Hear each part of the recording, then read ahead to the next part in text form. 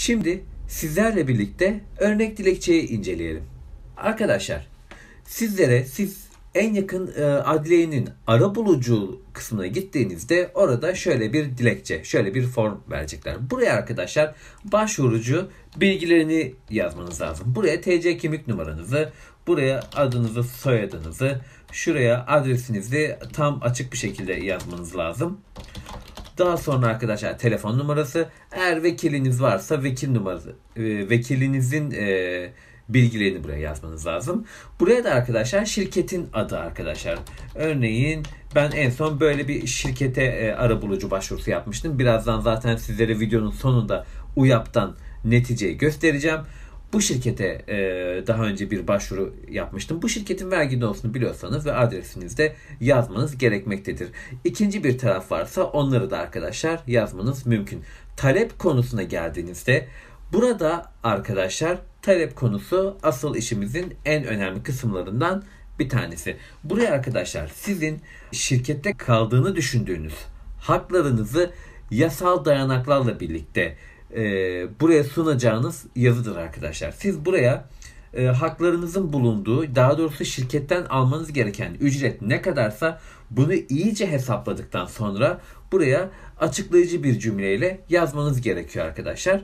Bu talep konusunda yazdıktan sonra eğer e, işveren daha doğrusu sizin maaş bordrunuz, bordrunuz ya da e, sizin almanız gereken haklarınıza ilişkin e, be, e, belgeler varsa bu belgeleri de bu formun e, bu formla birlikte ara bulucu merkezine vermeniz gerekmektedir arkadaşlar. Bu form doldurma detayı bu kadardı arkadaşlar. Yani çok basit bir şekilde e, doldurabilirsiniz. Ben e, daha önceden 2018 yılının sonlarında böyle bir form doldurmuştum. O zaman e, ara bulucuya doldurulan formlar arkadaşlar iki sayfalık e, bir formdu. Şimdi tek sayfaya düşürmüşler. Bu formla birlikte yasal dayanaklarınızla birlikte size en yakın ara bulucuya başvurmanız mümkün. Arkadaşlar sizlere örnek dilekçeyi gösterdikten sonra hemen devam edelim. Doldurduğunuz dilekçeyle adliyelerdeki ara bulucu ofislerine başvurmanız gerekiyordu. Ara bulucu olmayan yerlerde de arkadaşlar birçok yerde yok zaten sulh hukuk mahkemelerine başvurmanız gerekiyor.